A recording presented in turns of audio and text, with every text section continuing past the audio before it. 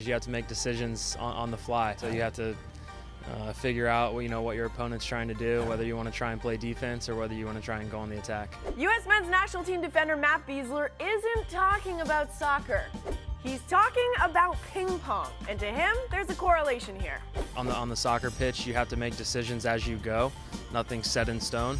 Uh, same thing when you're playing ping pong. You have to you have to decide, you know, right before you're about to make a shot, you know, what shot you want to make. Matt's been crafting his ping pong game as long as he has soccer. For him, it began as a family affair. I grew up having a ping pong table. I can remember, you know, after dinners, me and my brothers going down there and, and begging my dad to come down and play with us, and he would always beat us. and uh, we thought he was the best player ever. On the ping pong table, Matt told us his aggressiveness depends on the opponent, but on the soccer pitch, that mindset changes. And that's that's the mindset of a defender. Uh, you don't want to give anything away.